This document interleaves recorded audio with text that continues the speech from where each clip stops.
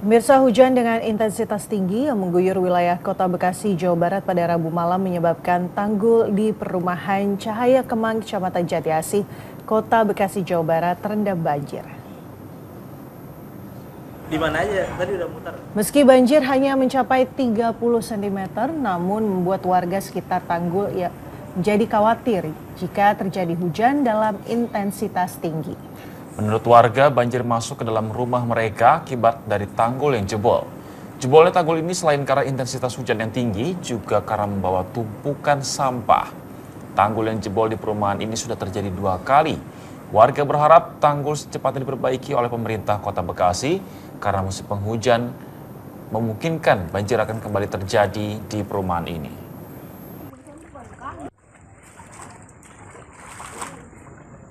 ini 不要身份证叫啥